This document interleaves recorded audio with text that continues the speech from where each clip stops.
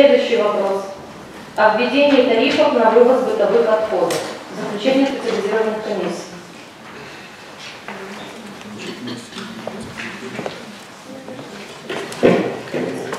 Comisia prioritizează pozitiv proiectul de decizie cu excluderea punctului 2 din proiectul de decizie. На нашей комиссии было принято такое же решение. Владимир Иванович, ваша комиссия. В нашей комиссии еще проекта решения не было, просто я участвовал на комиссии экономической и юридической.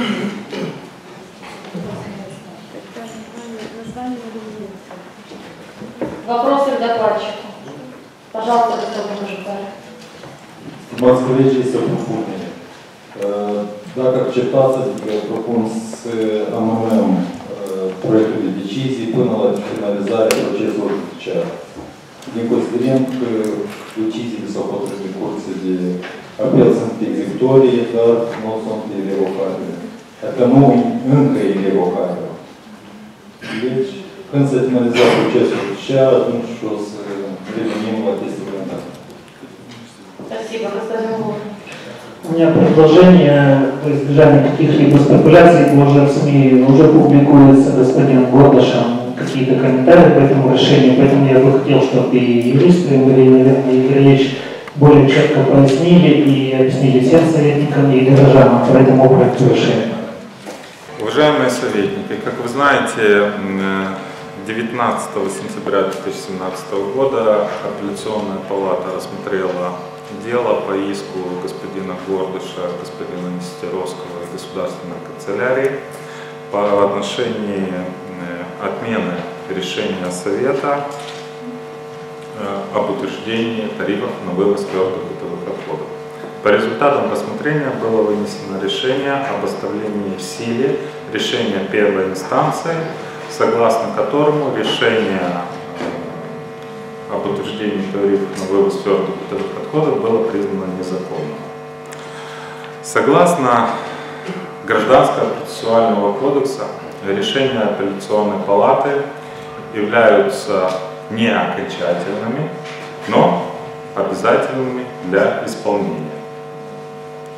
В то же самое время хотелось бы отметить, что э, закон об административном суде, статья 29, предусматривает, что административный акт, аннулированный полностью или частично, перестает иметь юридические последствия с момента вступления решения административного суда в законную силу.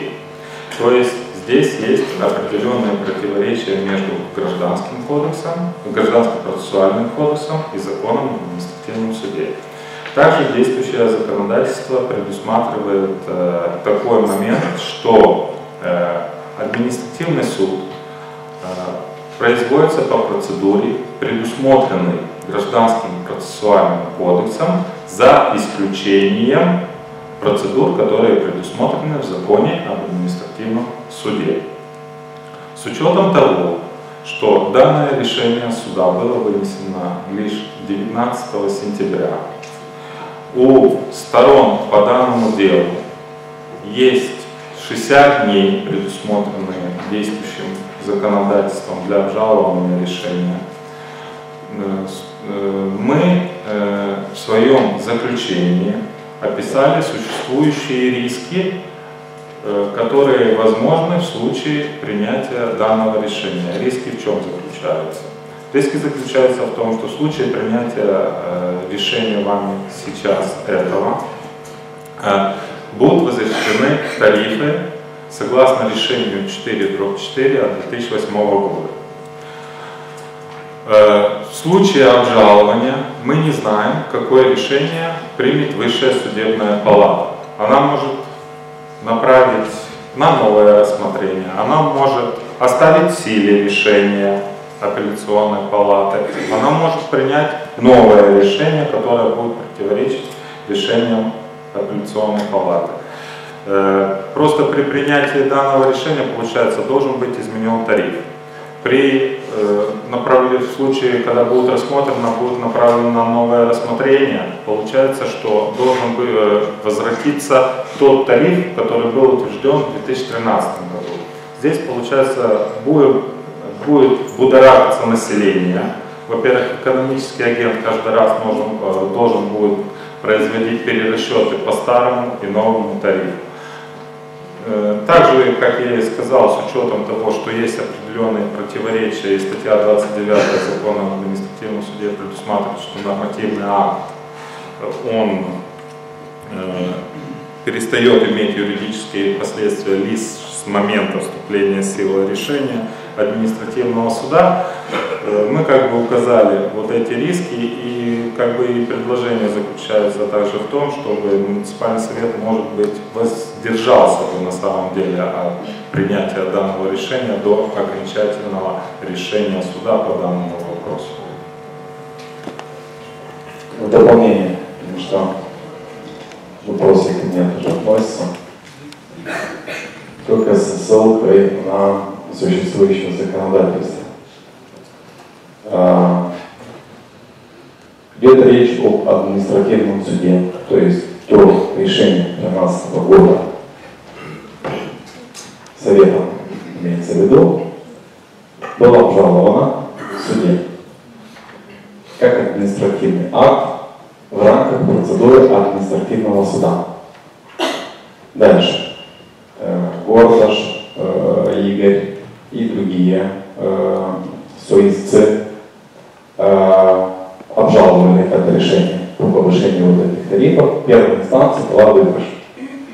В свою очередь, э, третье лицо, заинтересованное лицо, которое было приложено к этому процессу, подало апелляционную жалобу в апелляционную палату э, муниципалитета Бельгс, которая 19 сентября оставила в силу решение первой инстанции. Диспозитиве очень четко указывается и согласно, согласно Гражданскому процессуальному кодексу о том, что решение апелляционной палаты является окончательным, но не вошедшим в законные силы. И согласно закону об административном суде решение по аннулированию административного акта имеет исполнительный характер с момента, когда это решение входит в законную силу.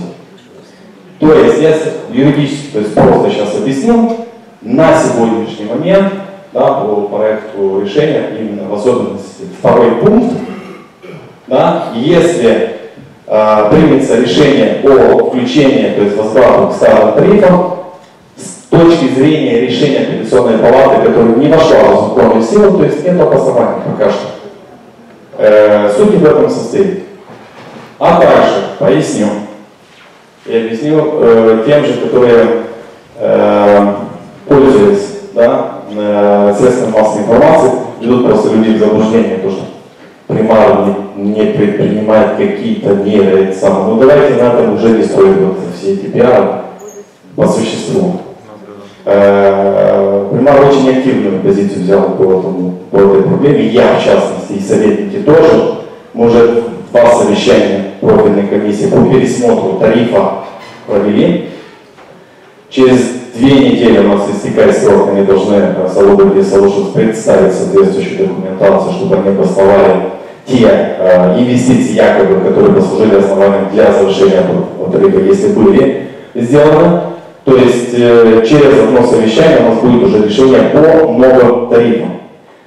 Подчеркиваю, если будут там затягиваться все эти процессы до высшей судебной палаты, это, этот механизм мы уже знаем, потому что господин Гордыш не зря прокомментировал, что этот суд уже тянется с 2014 года, сами понимаете, по сроку затянули слишком, то Совет, э, э, имея обоснованную информацию согласно результатам работы профильной комиссии по пересмотру тарифа, очень э, кратко и уверенно может э, принять решение по э, принятию новых тарифов. Не означает, что там там судятся, то есть по настоянию там кассационная жалоба будет, я уверен, что это будет затягиваться.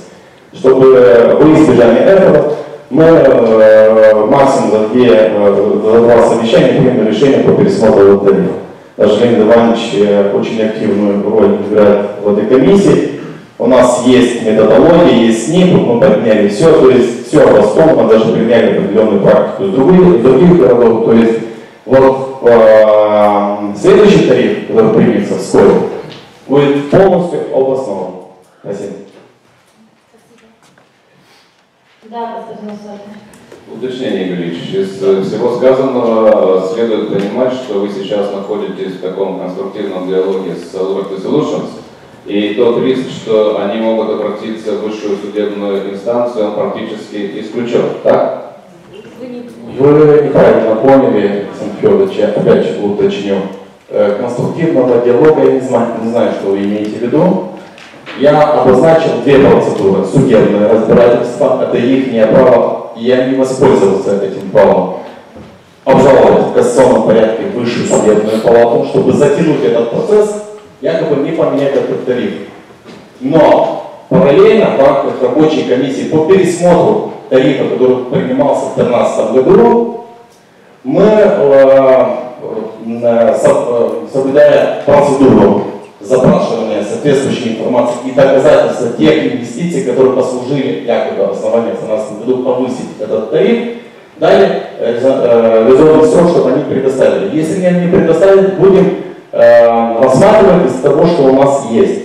То есть, опять же, потом, если вынесем на, на, на совет вот, э, пересмотр тарифа, чтобы опять не были соответствующие обоснования, опять, чтобы опять через судебные инстанции все это затягивать. Этом. То есть эти параллельно, есть, я не знаю, какого диалога конструктивного, какого характера конструктивного диалога у нас, но только вот в рамках этих двух процедур. Господин Иордан. Исходя из того, что бы- были объяснены и начальником юридического управления, и господином Михайловичем Примаров, я понимаю, что это, это решение не должно было вообще выноситься в таком случае, да? Мы не будем заниматься. Сия акт э, Принять к принят, сведению да, сия акт.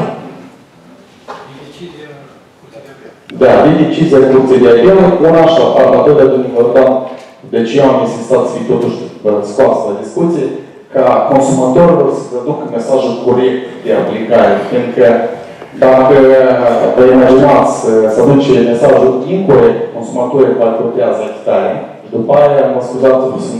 și cu incasul, mai știu eu, și oricum deci o să fim supraîncărcați cu, cu petiție. Mulțumesc. Da, de-aia și s-a dat inițiativa ca a doilea punct să fie exclus. Din motivația susținută. Mulțumesc. Госпожа Крицко, пожалуйста. În mod special pentru membrul Comisiei de Drept și Disciplină, domnul Iordan, vă mai repetăm o dată, pentru că ați lipsit ieri la Comisie. Punctul 2 se exclude. Acesta este avizul Comisiei de Drept și Disciplină, unde dumneavoastră sunteți membru. Еще вопросы, пожалуйста. Господин Усатый. Еще одно уточнение юридического характера. Эм, Значит, Виталий Ильич, объясните, пожалуйста, не получится ли в этой ситуации э, аналогия, как мы уже имеем прецедент с господином Фионом Гуряном, когда мы не исполняем решения и дальше, помните, в ранцвете, админ протокола, суд и все остальное.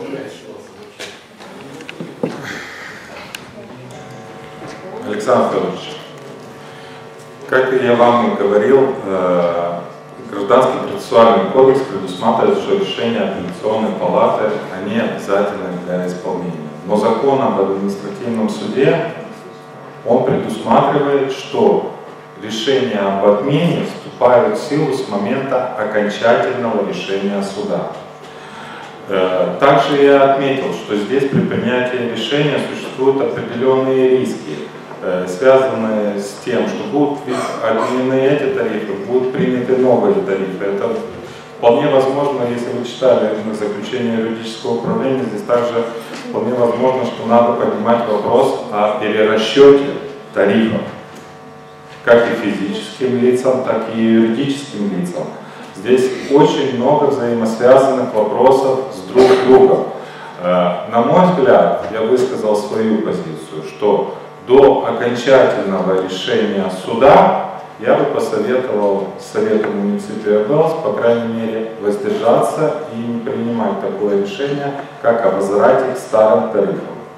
Э, Если мне позволите, я дополню.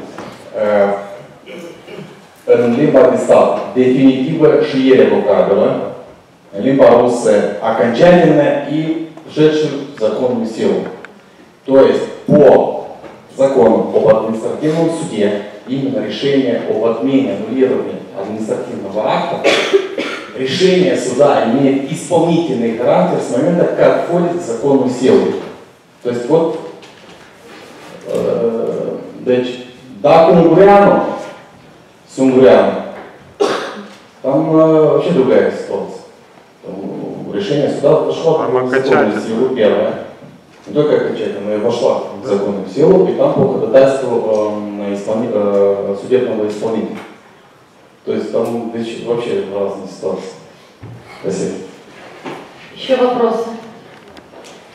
Ставим на голосование проект решения как основу. Кто за данный проект? Уважаемый э, прозвучало просто предложение э, об исключении пункта 2. Тогда получается, что на смысл названия самого решения о введении ТР, да, может и будет предложение о замене самого названия. Или, или о принятии решения, принятии к сведению решения суда, да, поменять название. Спасибо. Ставим на голосование проект решения как основу. Кто за данный проект как основу, прошу голосовать. Против? Воздержавшиеся? Двое. Ставим на голосование предложение специализированной комиссии, специализированной комиссии исключить из проекта решения пункт 2 и предложение юриста о замене названия проекта. Отдельности. Значит, ставим сначала на голосование предложение специализированных комиссий. Исключить пункт второй. Кто за данное предложение, прошу голосовать. Против? Задержавшиеся? Четверо. Ставим на голосование предложение юриста об изменении названия проекта. Кто за данное предложение, прошу голосовать. Против? Воздержавшиеся? Один.